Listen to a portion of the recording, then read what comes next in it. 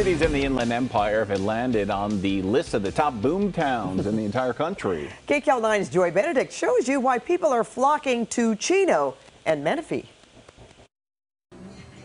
There's a hustle in the air on this Friday night in Chino. Streets and plazas packed like this city hasn't seen in years past. Nice area, brand new shopping center, so I can see why people are moving here for sure.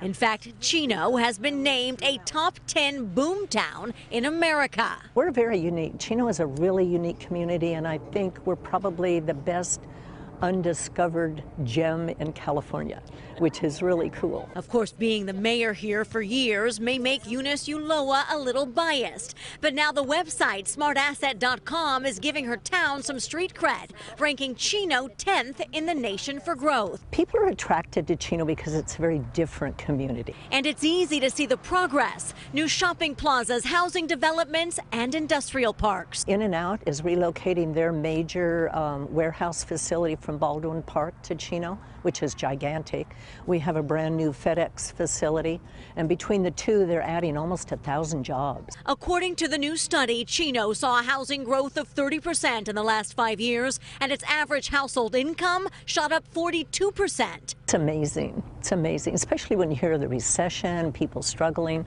Yeah, it really is amazing. If you think about over five years having household incomes grow that amount. I mean, that's really impactful. Susannah Snider is the managing editor for financial education at Smart Asset. For somebody living in a boomtown, it shows you that you're in a place that's really booming. It's growing. There's population growth, there's business growth, there's low unemployment. And although Chino came in 10th, another Inland Empire city ranked 7th. I moved here in like 20 13. Like it was a 7 Eleven on the corner, like a tumbleweed.